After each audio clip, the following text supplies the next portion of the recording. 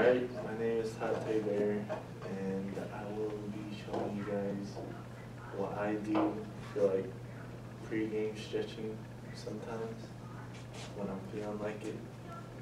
And the first stretch is just a wall stretch. Uh, it's pretty easy, you just lean up against the wall. You just uh, focus, I guess, your weight all on this back foot right here.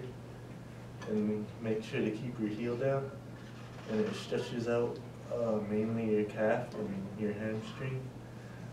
And I generally do that stretch for about 30 seconds. And all these stretches that I'm about to show, I do for 30 seconds, like two times. And the next stretch, I use the wall too, just to keep my balance. And I pull up my leg and hold that for 30 seconds. And when you pull it, it stretches out this quad area right here right here. And again, I do that for 30 seconds. And then next stretch, um,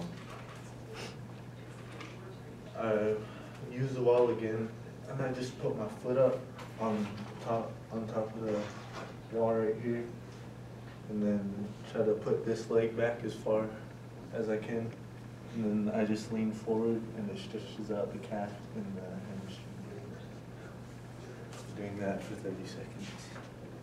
Then I use this wall for that. I'll use this wall for balance again. And I just do a knee pull.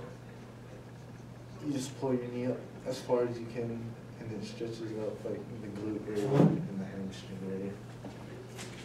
And after that, I'd get off the wall and just go to uh, the ground right here. And then I'd usually reach down and stretch down the middle, which stretches out the hamstrings. And then I'll go over to one foot, which focuses just on one leg in the hamstring area too, and then the other leg. Then after that, uh, I'll probably uh, like do these stretches, like I lean to the side and uh, to the front and stick out like my groin area, which helps uh, open up the hips and then after that, after I go through those two times, uh, I'll just sit on the ground like this because it like opens up my knees right here.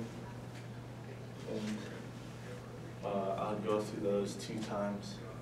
And the reason I go through those stretches because I found that they like really help my knees out a lot because in high school like a year ago, uh, I had like really bad jumper's knee and stuff, which is basically just like tendonitis in your knees, and it really hurts. And some days I like could barely get out of bed for practice and running and all that.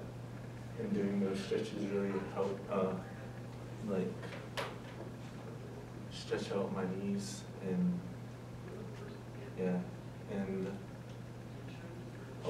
stretching can help out with your flexibility and doing it a lot can even make you stronger in areas and faster and all that. And that was my presentation on stretching.